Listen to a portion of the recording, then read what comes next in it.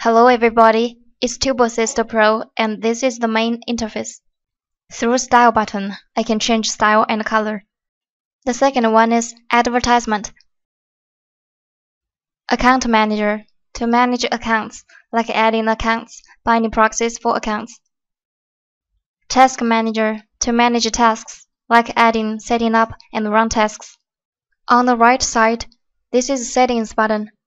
Click it to complete settings to show debug window or not when task is running. The number of tasks that can run at the same time. To disable image or not in debug window. The number of modules that could be run at the same time on one account. Statistics and interval time functions are unavailable for now and still in test. This is a mini program. If it's enabled, it can automatically reopen and restore the main program that accidentally closes. Advertisement, if I turn it off, it will work when being restarted. If I enable this, I will be prompted to update the software. At last, click OK to save the settings. This is a help button. Users can get help from forum or support.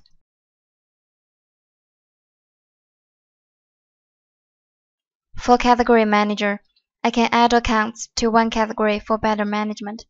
Add a category. Input a name.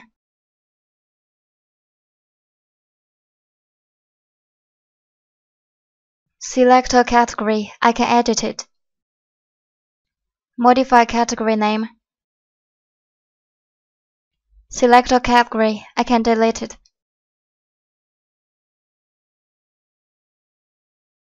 For Account Manager, I need to select an account category so that I can manage accounts in it. Check the account category and add an account. Import account. Accounts can't be duplicate. Password and proxy. Proxy is optional. This is the added account. If you can't find a new added account, please check if you already checked the category before you added the account. If you have checked the category, please check if there is a scroll bar. Select the account, I can edit it.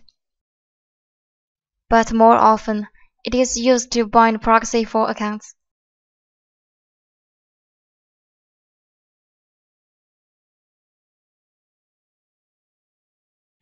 I can delete one or more selected accounts by hitting Delete button.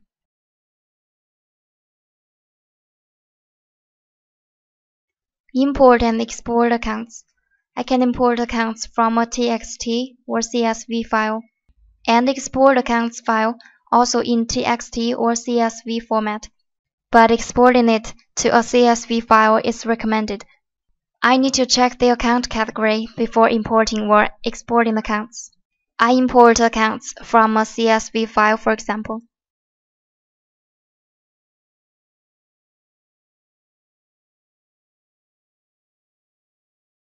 For account limit, select accounts, click limit to start limit settings, including modules available, time and maximum running times, and interval time.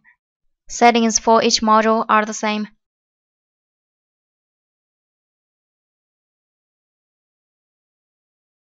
The maximum running times in a period of time, interval time, time intervals for each run. Interval time will be randomly selected from the interval time range. Save the settings. Select one or more accounts. I can bind proxies. Hit proxy button. I can add proxy manually one by one, and I can import proxies from file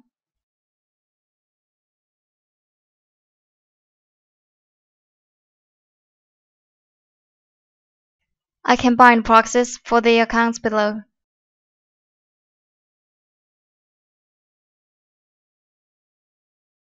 At last, save the proxy settings. Next, I will check accounts. Select an account, click Start to check, and click Stop to stop checking.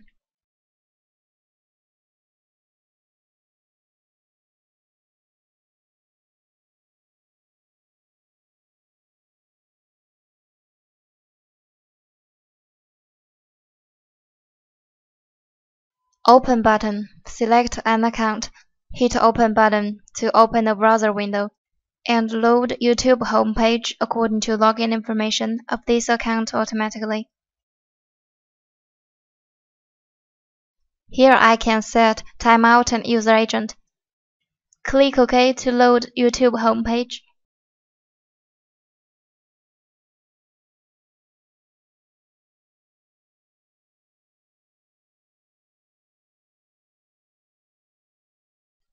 Cache button to clear account cache, mainly to clean up the login information.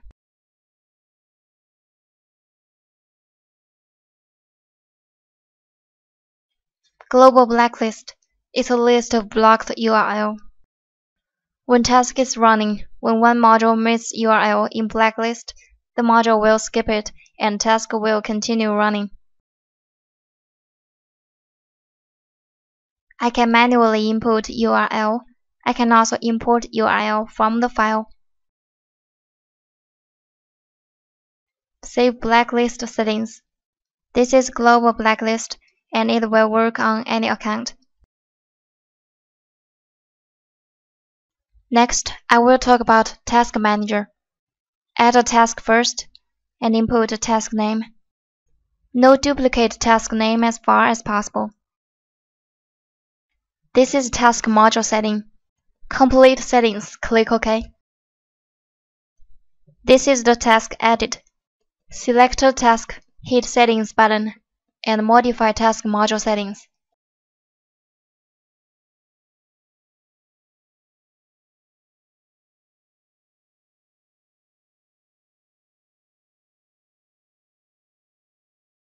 Hit delete button to delete selected task. Hit the Rename button to rename selected task. Select a task, hit Copy button first, and then Paste button. And I get a copy here. Select one or multiple tasks. Hit Reset button to reset task settings. Select items to reset. I select all for example. Click OK. For import and export functions, Select a task, hit Import button. Select a file path and import file name.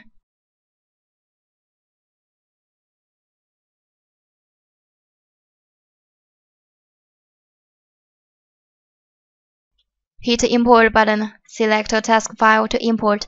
File imported and exported here must be in JSON format.